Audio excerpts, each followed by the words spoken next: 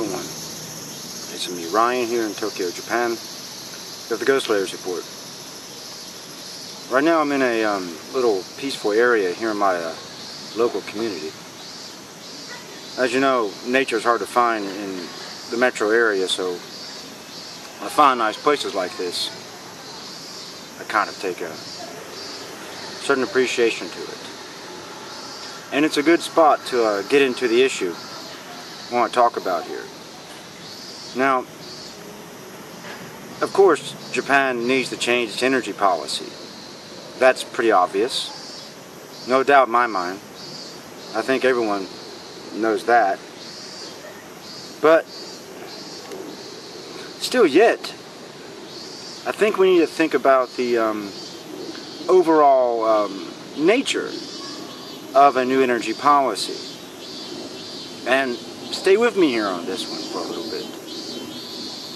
I've been thinking that we should go with a people before profit energy policy for Japan. Now what I mean by that is to remove the profit motive from energy production. Now of course, TEPCO should have been gone a long time ago.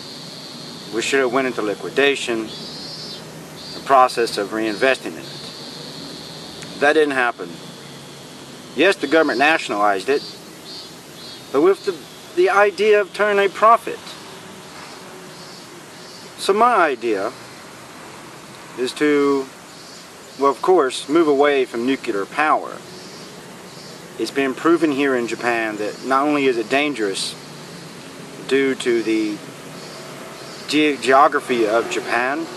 You know, high potential for big earthquakes, tsunamis, uh, the possibility of building uh, nuclear power plants on fault lines, which has already happened. It is too dangerous. But what should be done is to look at nuclear, excuse me, look at energy production as something that everyone needs, as almost like a right of the people to have access to a proper amount of energy. So we should look for alternative forms of energy production and operate everything at cost. Which means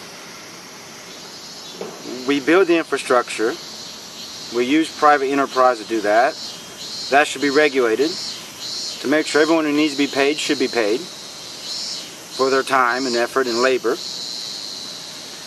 But we should not be looking to make profit from energy production.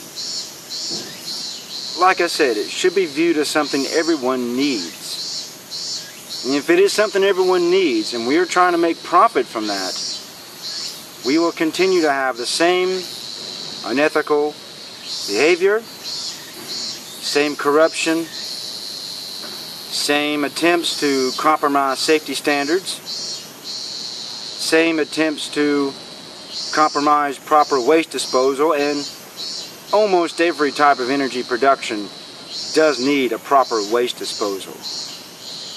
Because if you put profit into it, up and down the line, top to bottom, there'll be constant efforts to cut corners. Now I know what a lot of you may say. If I had a profit motive, people not work hard. Yeah, I've heard those arguments before. But it's going to require uh, the creation, development of cooperative corporations.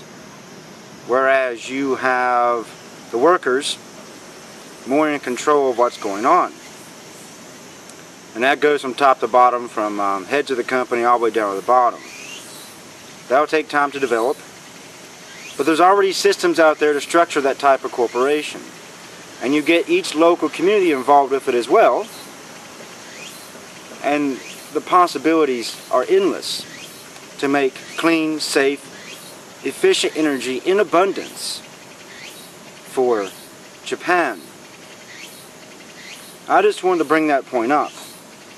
Now, as we all know, solar power, due to the initiative uh, by the Japanese government through regulation to require current electric oper power operators to buy a certain percentage of solar power from companies who develop and build the infrastructure at below market cost.